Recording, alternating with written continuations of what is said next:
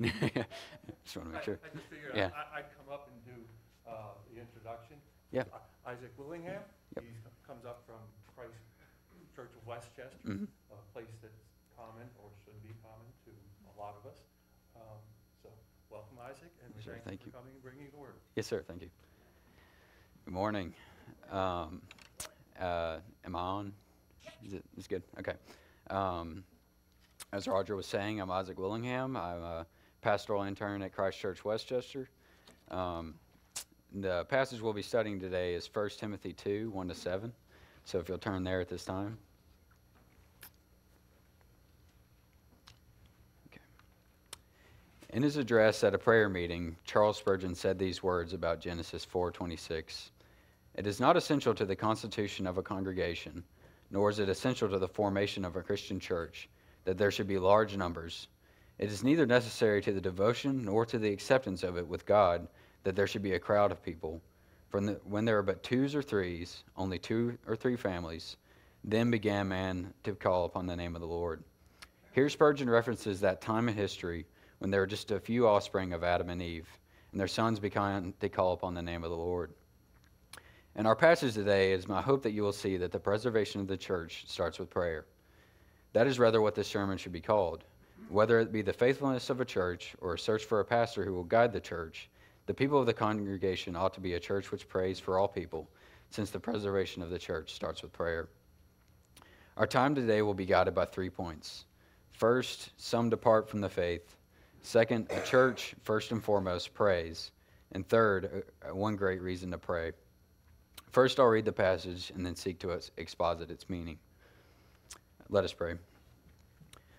Father, gracious Lord, we pray at this time that you may open up the meaning of this passage, that all may know your will for their lives, and that we as a church may become more prayerful as you've urged us to do so here.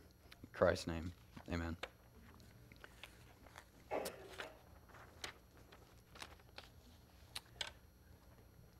First of all, then, I urge that supplications, prayers, intercessions, and thanksgivings be made for all people, for kings and all who are in high positions, that we may lead a peaceful and quiet life, godly and dignified in every way. This is good, and it is pleasing in the sight of God our Savior, who desires all people to be saved and to come to the knowledge of the truth. For there is one God, and there is one mediator between God and men, the man Jesus Christ, who gave himself as a ransom for all which is the testimony given at the proper time. For this I was appointed a preacher and an apostle. I'm telling the truth, I'm not lying, a teacher of the Gentiles in faith and truth. The Ephesian church was being tossed to and fro by the wind and waves of false doctrine. They needed a beacon of light to guide them ashore to solid ground and enjoy the peace of land. Paul writes Timothy so that they may have an anchor and may make it to dry land. Paul tells Timothy to re- remain at Ephesus to, so that the Ephesian church may arrive safely. It may seem odd that Paul tests the Ephesian church to pray for all people that they may stay within the faith, yet that is exactly what we find here. As we work through the passage today, uh, my hope is that you will see that we ought to pray for all people. This command is situated between Paul's discussion on false doctrines and Paul's instruction for elder qualifications. The first and primary thing a church ought to be is a worshiping, praying church which prays for the good of all nations and those in high positions. The preservation of the church starts with prayer. This brings us to our first point departure from the faith. We read that here in chapter 1, verse 3 and 4, Paul addresses Timothy As I urged you when I was going to Macedonia, remain at Ephesus, so that you may charge certain persons not to teach any different doctrine, nor to devote themselves to myths and endless genealogies, which promote speculation rather than the stewardship from God that is by faith. The doctrine which Paul wants Timothy to hold is seen succinctly in chapter 1, verse 15 to 16. The saying is trustworthy and deserving of full acceptance that Christ Jesus came into the world to save sinners, of whom I am the foremost. But I received mercy for this reason, that in me, as the foremost, Jesus Christ might display his perfect patience as an example to those who were to believe on him for eternal life. We see the outcome of not holding to this doctrine in chapter 1, beginning in verse 19. By rejecting this, some have made shipwreck of their faith, among whom are Hymenaeus and Alexander, whom I have handed over to Satan, that they may learn not to blaspheme. They made shipwreck of their faith by blaspheming the name of God. Paul himself was a blasphemer of God, but was forgiven because he acted in ignorance. Paul promoted the persecution of the church, and he himself stood by and approved Stephen's stoning. Yet God forgave him since he acted in ignorance. These men, on the other hand, knew that Christ died for sinners and still promoted an exclusivism. This is in contrast with God's grace, which extends to sinners who repent and put their faith in Christ. As we can reason from the text, they denied that Christ had come to save sinners. They taught and promoted doctrine contrary to the gospel, and so Paul excommunicated them from the church. Timothy needed to remain at Ephesus to point to the Ephesians to the beacon of light, which is Christ and the saving work on the cross. The anchor of their soul and the light, light which guides them is Christ himself. He offered himself as a sacrifice that sinners may come to know the grace of God through the Lord Jesus Christ by the power of the Holy Spirit. And after the pa- passage, we see that Paul gives instruction for men to lift holy hands in prayer and for women to adorn themselves with modesty. He continues on to give instruction for elder qualifications and deacons in chapter 3. So, why might this text, our text today, be placed here between a discussion on false doctrines and the qualifications for elders and deacons? We may understand then that the preservation of the church starts with prayer. This brings us to our text today and our second point. A church, first and foremost, prays. Paul says in chapter 2, verse 1 First of all, then, I urge that supplications, prayers, intercessions, and thanksgivings be made for all people. This is the first charge that Paul gives to the Ephesian church as a whole. They are to, first of all, offer prayers, supplications, intercessions, and thanksgivings for all people. You may notice that Paul says here, all people, and that earlier in chapter 1, he says that Christ Jesus came into the world to save sinners. We know that there is not one person in the world that is not a sinner. Paul tells us in Romans 3 that none is righteous, no, not one. There is no fear of God before their eyes. We all, like sheep, have gone astray. All people here is inclusive of everyone who is a sinner, which is everyone. When we pray for everyone, we are praying in accordance with God's will. If we are looking to reform our church's worship life, we need to look first and see if our church is praying together. The first thing to do for the preservation of the church is to pray, not necessarily to get things done. If you are looking for a pastor, first pray and seek a pastor who emulates what Paul, what Paul sets forth here. That is someone who prays for all people, for kings and those who are in high positions. We may notice here that this letter is directed to Timothy first and foremost. As a pastor instantiated by Paul to lead the Ephesian church, Timothy needed to know instruction as how to guide the church that they may be faithful to God. Secondly, this letter would have been read to the read to the Ephesians since Paul is not addressing matters particular to Timothy, but to the church as a whole. Paul says in other letters for him to read his letters aloud to the church. We may be confident that the Ephesians would have known this letter and that Timothy would have been held to the standard by the church.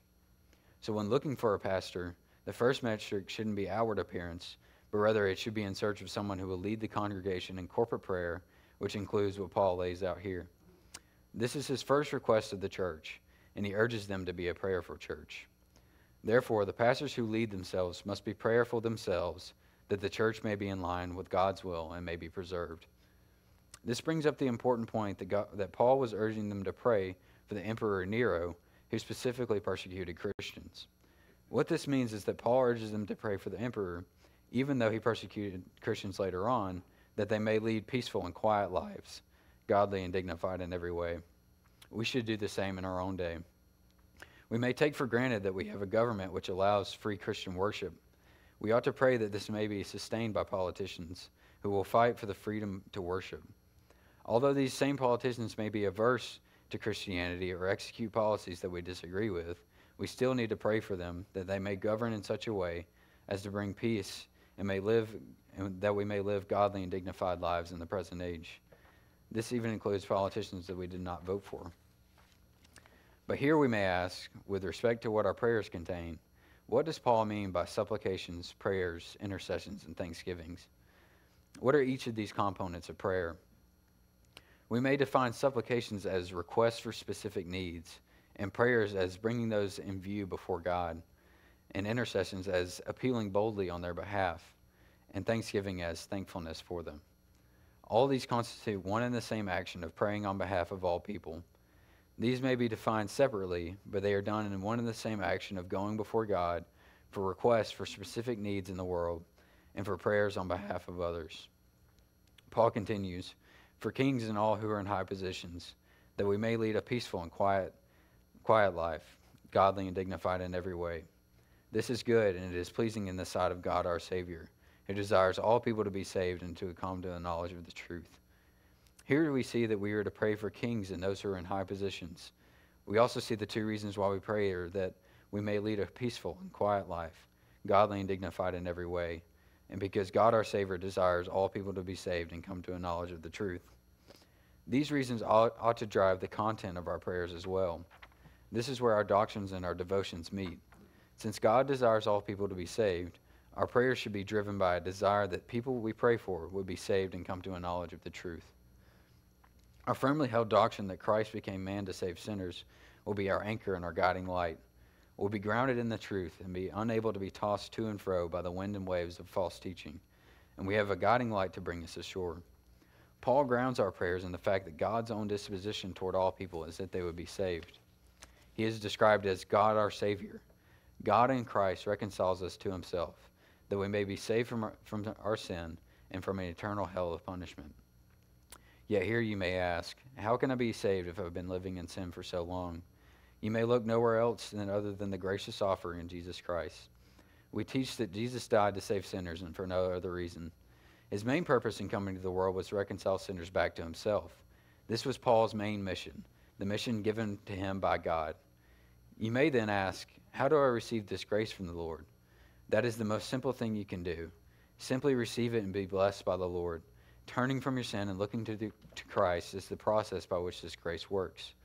Turn from your sin and believe on Jesus Christ and confess Him as Lord today, and you will be saved. Repentance is turning 180 degrees away from your sin and looking to Christ. It is a giving up of sin and trusting in Him. To have faith in Him is to entrust yourself to Him, that He indeed died for your sins and will bring you safely into His heavenly kingdom. If this does not describe you now, know that an eternal hell of punishment awaits those who persist in sin and do not trust Christ to take their sins from them. I'm sure anyone here would love to talk to you about this grace of God, which was manifested in Christ after the service. Talk to me or any other members about here about what it looks like to believe on the Lord and be saved. You will see what a gracious disposition the Lord has to his children and who the Lord is as we work through this passage. But believe now and be saved that you may have eternal life. Next, we see the motivation behind our prayers is that we may lead peaceful and quiet lives, godly and dignified in every way. This kind of living is good and pleasing in the sight of God. In this way, we can witness to those around us about the good news. Our lives should be those that necessarily raise curiosity about our hope in Christ, which will leave uh, room for us to witness about Christ. Peter says in 1 Peter 3:15, "But in your hearts honor Christ the Lord as holy, always being prepared to make a defense to anyone who asks you for a reason for the hope that is in you. Yet do so with gentleness and respect." Jesus himself says to let our light shine before others, so that they may see your good works and give glory to God the Father who is in heaven. So here's a twofold mo- motivation behind our, behind our prayers God desires all people to be saved, and we want to live lives which glorify God which necessarily will lead to chances to share God's salvation in Christ to others. Our prayers are a fragrant offering before the Lord, and they are pleasing in His sight since we are acting in accordance with His own nature and disposition toward mankind. The reason Paul wants us to pray is because it is pleasing in the sight of God. There is really no greater standard to appeal to. We pray because it is God's will and it pleases Him. God hasn't set the earth in its rotation and interactions we have with other people like a clock with its mechanisms turning. No, the Lord has, general, has genuine interaction with His creation. Otherwise, He would not have sent His Son to die on the cross for sinners. In the same way that He interacted with us through Christ, so now he interacts with us through prayer. When we pray to the Lord, we are doing exactly what he wants us to do, and it is pleasing in his sight. God likes to interact with the world and affect outcomes through our prayers. We can pray these prayers for anyone, since we know that no one is outside the Lord's saving power.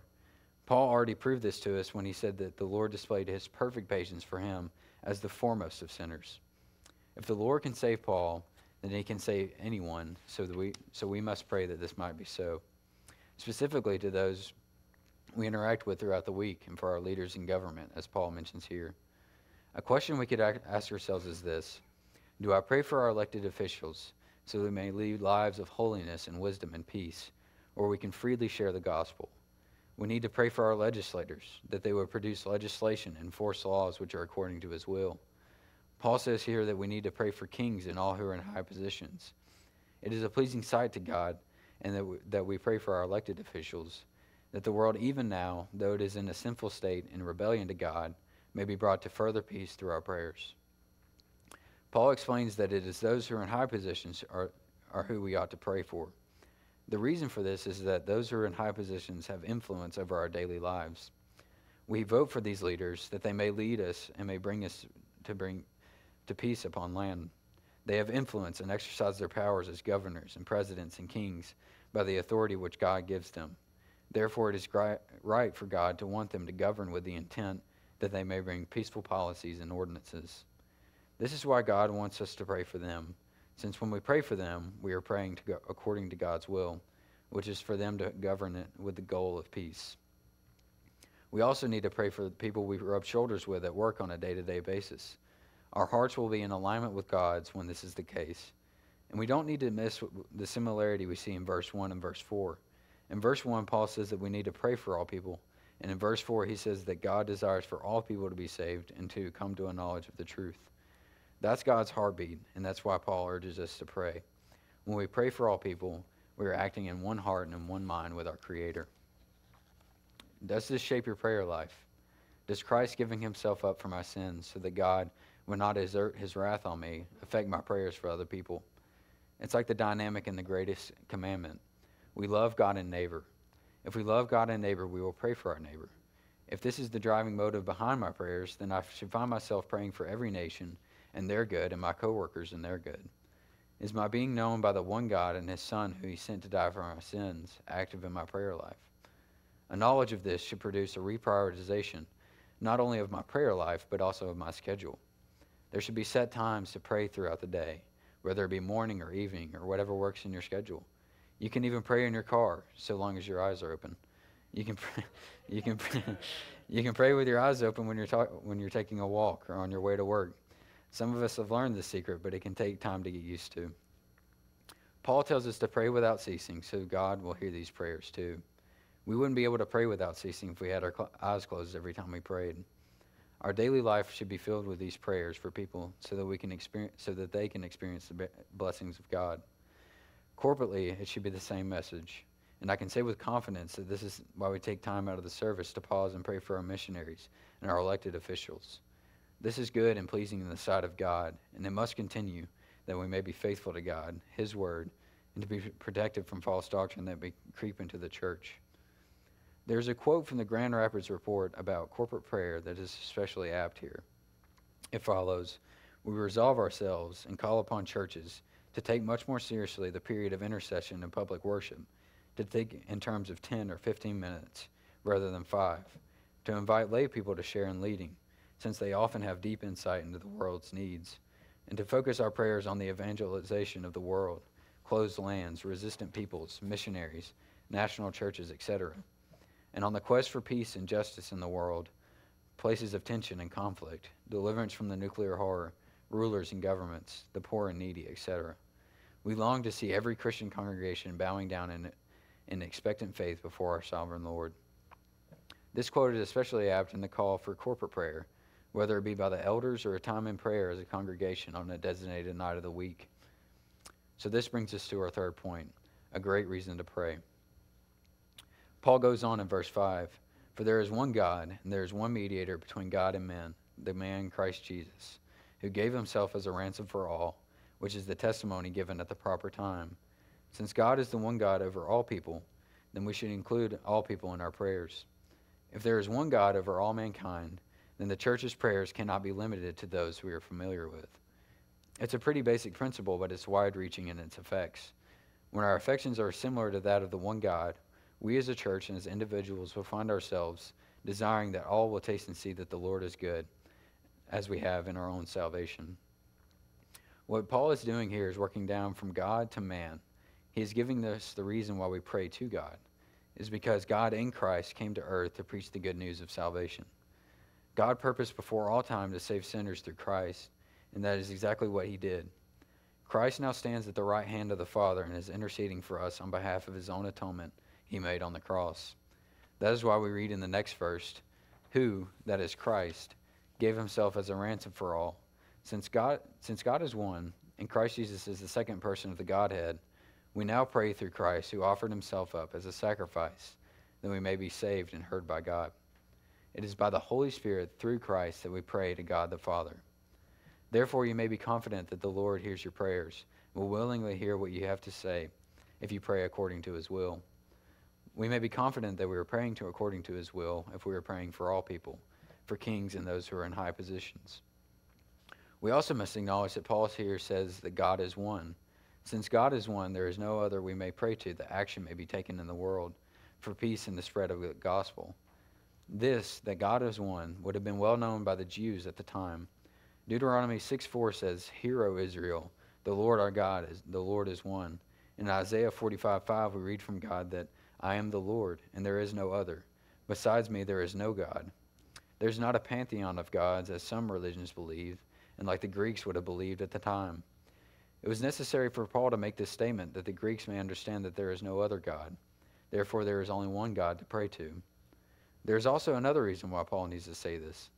The reason is that since God is one, this means that all humanity finds their source and salvation in Him. All people find their source of life in God and find their salvation in Him through Christ. The exclusiveness of God, that is, since God is one, leads to the inclusiveness of all, that humanity, that all humanity is saved by the one God.